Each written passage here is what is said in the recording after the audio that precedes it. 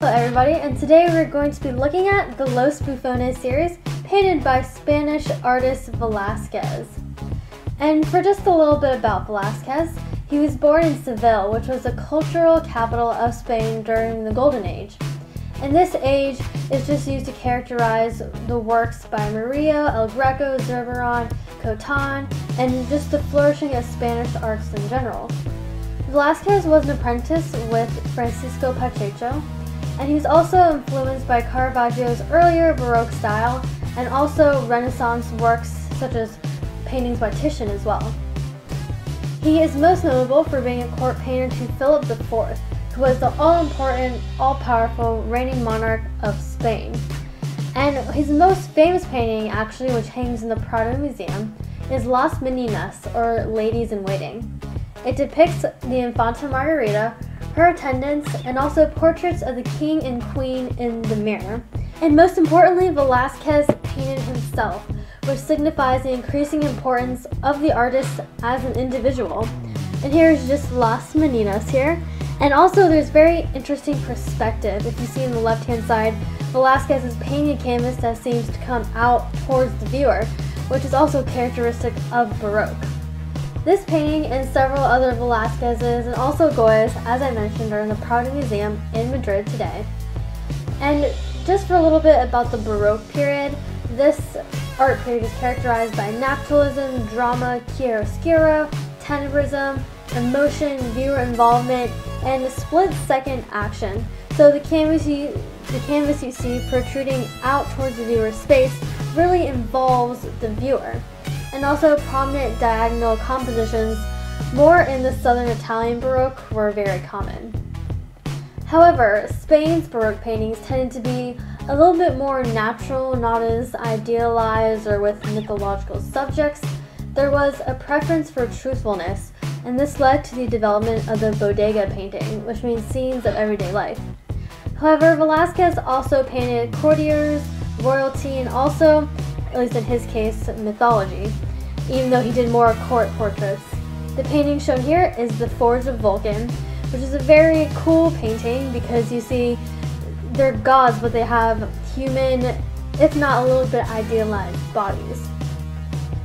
And the series we are going to be looking at in depth is the Los Bufones, and this depicts the court jesters of Philip IV. And by jesters, I mean dwarfs, people with mental retardation. They were just meant to amuse the royalty of Spain. And this first painting we're looking at is the jester Don Sebastian de Morra, which Velázquez painted in 1645. And this painting depicts a dwarf in a very truthful and almost rugged way, and that's really evident in the way his face is depicted. The brushstrokes, especially on his clothing, are not blended completely. And also, if you look at his clenched fists, they're just kind of a nondescript, you know, mess of paint.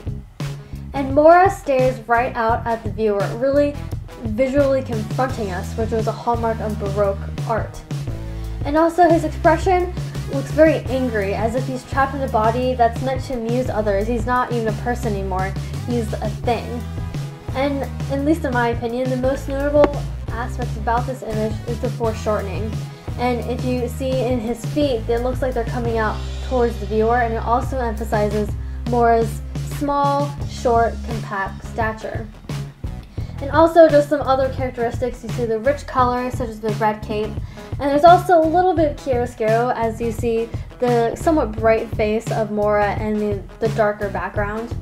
And this really uh, reveals Morra's personality, and Velázquez is treating him very humanely. He's a real person, he's not laughable or meant to amuse people. He's actually looking right out at the viewer.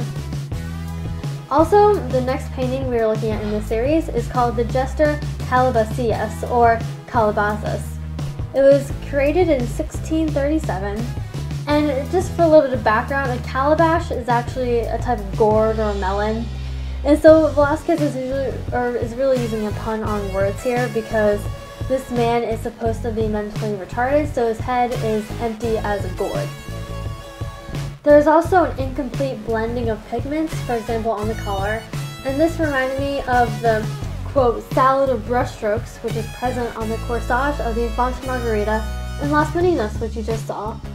And also on the ground next to Calabazas, there is playthings and toys, and he's also illuminated through chiaroscuro. chiaroscuro. You see the light head and the darker background. And the man depicted here is seated, so the viewer is looking down on him, which conveys a sense of inferiority to the viewer and ultimately to Philip IV. This man is nowhere near as important as the people who would be viewing this image. However, again, as in the Don Sebastian de Morra painting, Velasquez treats this subject with more humanity and also in a more sensitive way. Final image for today is court dwarf Don Francisco Lezcano, called El Niño de Vallecas, which Velasquez painted in 1637. Again, there is foreshortening in the feet like Don Sebastian de Morra, and the figure is toying with several letters in his hands. Vallecas, if you are wondering, is a village in Madrid that is traditionally known for being working class. And Francisco here is shown as innocent, unaware, and more childish compared to the angry face and the attentiveness of Morra, another dwarf.